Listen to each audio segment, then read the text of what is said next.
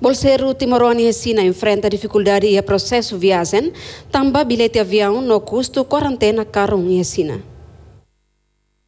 Segunda-feira, semana né, lehirak ne husi deputada bancada Frente Mudança, Isabel Simenes e rene intervenção e a sessão plenária Parlamento Nacional. Isabel Simenes Ateten, bolseiro hirakne hatama na pedido para Ministério Ensino Superior, Ciência e Cultura. E a fulan janeiro tinangne, onde russo apoio para bilhete, mas be toda daukne se dauketan na resposta.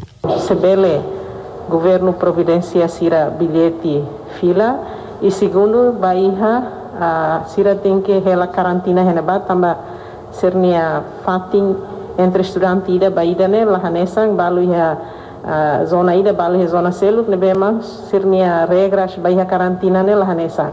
Mas em média, Sira tem que barrer karantina ne por volta de basic to 20 dias e tal.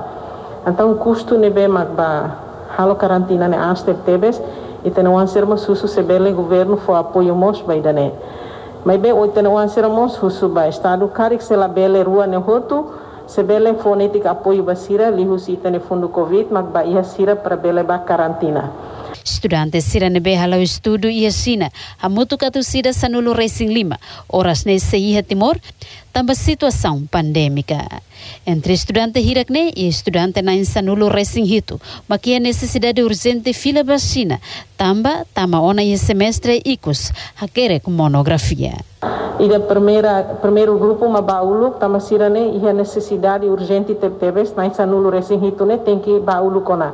Tamasira ne iha na período último semestre ne be maksira tem que halona sernia te eh, sernia de ser eh, sernia scripsi ne sernia monografia ne be maksira tem que iha ne ba per hudi bele halo consultas ho sernia professor sira se cari ser selo klabele favor senhor uh, secretário de estado hato ela vai aí tem fundo covid atende bas na insanulo recém hito ne be maksir ne pedido ne urgente tepteves para atende ela A tamba preocupação, né? Secretário de Estado de Comunicação Social, Merício Juvenal dos Reis Sacara, promete, se to assunto né, o Ministério relevante, a Tobele soluciona.